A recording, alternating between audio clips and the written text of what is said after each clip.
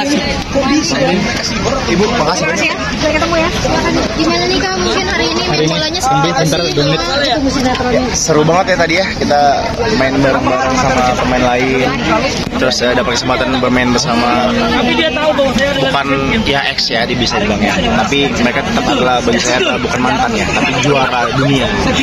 Satu juara dunia di tahun 2006, satu juara dunia di tahun 2010. Hari ini ditemani Ini istri. pengalaman berharga bisa dapat kesempatan main bareng mereka dan mudah-mudahan eh, ini bukan kali terakhir ya saya bisa kesempatan main sama pemain dunia tapi mudah-mudahan nanti akan ada event-event berikutnya eh, entah itu dari LCTI atau dari mana pun menyelenggara- menyelenggarakan event-event yang serupa gitu. Hari ini ditemenin sama Kak Leslie mungkin seperti apa sih?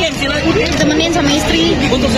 seperti, seperti biasa ya support system selalu hadir untuk menemani saya meskipun eh, justru sebetulnya ada beban tersendiri ya ketika ditemukan nama istri. Karena takut main jelek saya. Terbebani dengan rasa takut saya untuk bermain jelek. Itu membuat saya benar-benar main jelek akhirnya. Karena harusnya tadi penalti masuk tapi malah akhirnya masuk gitu itu lah ya tapi itulah permainannya Eh, ada kalanya kadang-kadang kita merasakan yang namanya off the day kali ini saya merasakan off the day-nya saya gitu Tadi masuk ke sini tuh naik angkot atau gimana sih? Iya, tadi kita naik angkot bareng sama pemain-pemain lain gitu. Itu unik mungkin ya. Baru pertama kali naik angkot atau enggak itu? Dulu sering loh, saya dulu sering main dulu zaman zaman saya sekolah sering naik angkot. Zaman zaman dulu di Medan, jadi bukan kali pertama. Cuma bedanya kali ini saya naik angkot bareng sama artis-artis. Nah mungkin hari ini kan kalah ini saya kurang fit dan hari ini tim saya kurang eh, dinaungi Dewi Fortuna. Tapi ya itulah permainan ya. Kadang-kadang kita nggak bisa memilih hari keberuntungan ini.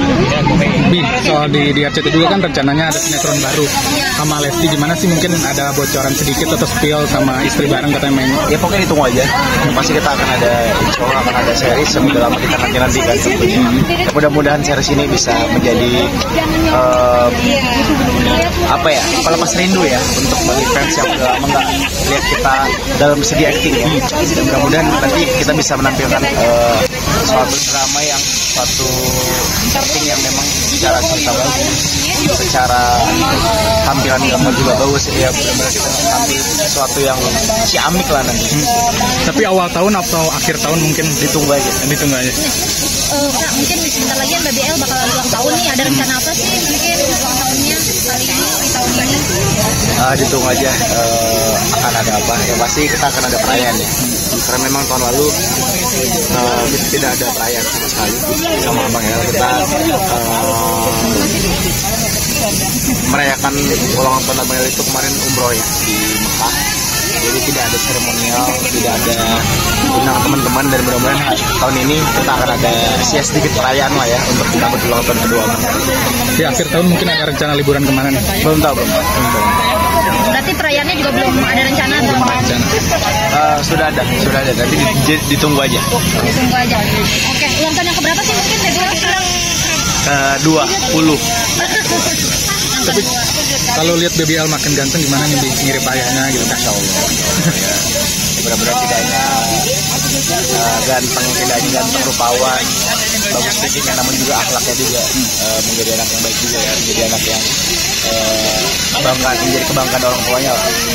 Gitu, karena memang eh, kita ingin benar-benar sebagai orang tua bisa berhasil ya mendidik seorang anak menjadi anak yang eh, menjadi anak yang versi lebih baik versi lebih baik dari orang tuanya gitu.